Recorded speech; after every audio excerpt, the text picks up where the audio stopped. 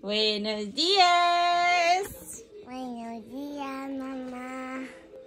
Ahora sí, llegó el momento de peinarte. Veamos cómo te vamos a peinar.